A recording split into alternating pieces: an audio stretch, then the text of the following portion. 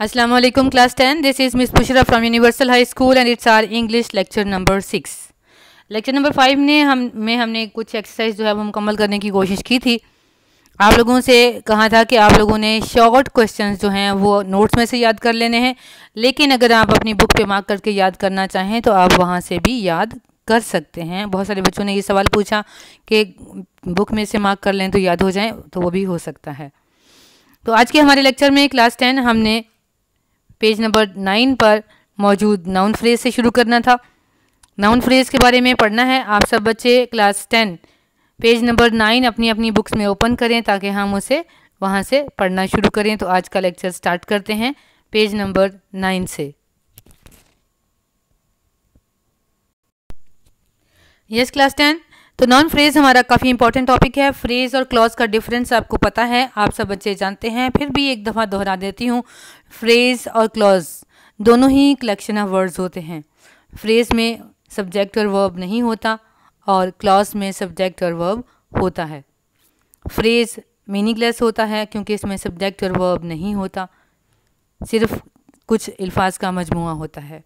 और क्लॉज बामायनी हो सकता है क्लॉज की काइंड्स हैं फ्रेज की भी काइंड्स हैं, लेकिन क्लॉज की काइंड्स आगे डिपेंडेंट और इंडिपेंडेंट करके तो क्लॉजिस में सब्जेक्ट और वर्ब होना ज़रूरी होता है। आपके जहन में ये दोहराया जाना ज़रूरी था। बढ़ते हैं आज के लेक्चर में नाउन फ्रेज की तरफ़ क्लास टेन फ्रेज चूँकि हम जानते हैं कलेक्शन ऑफ़ वर्ड्स है तो noun phrase naming collection of words होगा। तो इसकी अगर मैं आपको पहचान याद करवाना चाहूँ तो मैं कहूँगी कि एक डिटर्मिनर होता है यानी कि आ, एन, द में से कोई लफ्ज़ होगा। उसके बाद एडजेक्टिव एक या एक से ज़्यादा हो सकते हैं। उसके बाद एक नेमिंग वर्ड होगा। वो कुल मिलकर नाउन फ्रेज बनेगा। जो बुक पर डेफिनेशन लिखी है, वो है a noun phrase is a group of words that does the work of a noun group of words है, जो नाउन का काम करता है।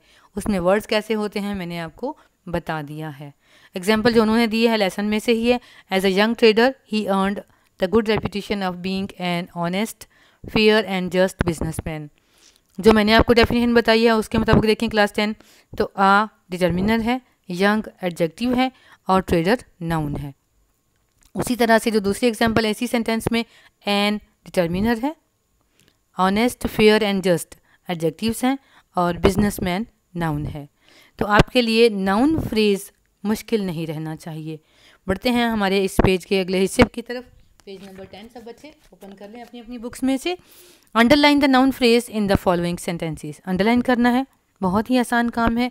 This is an old fashion hat old fashion hat में आपने अंडरलाइन क्या किया? Old fashion hat an old fashion hat जो है, वो हमारे पास नाउन फ्रेज है।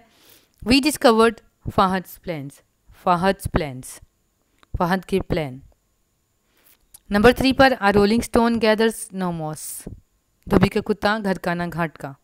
आ रोलिंग स्टोन इसमें नाउन फ्रेज है। क्लास टेन नंबर फोर पर the recent flood causes heavy damage दो हैं इसमें। द रीसेंट फ्लड भी और हैवी डैमेज भी। दोनों ही नाउन फ्रेज हैं क्लास टेन नंबर फाइव पे हमारे पास है an oral presentation can be interesting an oral presentation हमारे पास नाउन फ्रेज है। उम्मीद है कि आप किस, में से किसी बच्चे के लिए भी नाउन फ्रेज अब डिफ़िकल्ट टॉपिक नहीं रहेगा। बढ़ते हैं हमारे अगले टॉपिक की तरफ़ पास्ट इंडेफिनेट और past continuous tense past indefinite में क्लास टेन आप जानते हैं वर्ब की सेकंड फॉर्म यूज़ होती है नेगेटिव बनाने के लिए डिड नॉट और इंट्रोगेटिव बनाने के लिए डिड स्टार्टिंग में आ जाता है। इसी तरह से इसका पैसे वाइज भी सेम ही होता है। उन्होंने हमें, हमसे जो ब्लैंक्स पूछी हैं, उसमें एक हिस्से में पास्ट इंडेफिनेट और एक हिस्से में past continuous past continuous was were present participle का यूज़ होता है। बढ़ते हैं, पहली लाइन पढ़ते हैं। What dash you do when I dash call you last night what are you doing do हमारे पास मेन वर्ब आ जाएगा। What are you doing when I called you last night number two है हमारे पास I was sitting I was sitting in the cafe when you called me number three है class ten हमारे पास when you arrived at the bus stand who was there number four Shamsa was watching a film when she heard the noise heard में past और past participle same होता है. Next हमारे पास है number five पर we were playing tennis when Javed heard his uncle heard का भी पास्ट और पास्ट पार्टिसिपल सेम होता है। तो क्लास टेन आज के लेक्चर में हमने दो पार्ट किए हैं सी और डी ई पार्ट आप होमवर्क में कर लेंगे क्योंकि आपने लेसन में से करना है पंक्चुएट द फॉलोइंग पैराग्राफ्स तो इसमें आपने जिस तरह से लेसन में हुआ हुआ है स्टार्टिंग जो सेंटेंस होता है, वो कैप वर्ड जो होता है फ़र्स्ट लेटर कैपिटल होता है, फिर हमारे पास प्रॉपर नाउन कैपिटल होते हैं।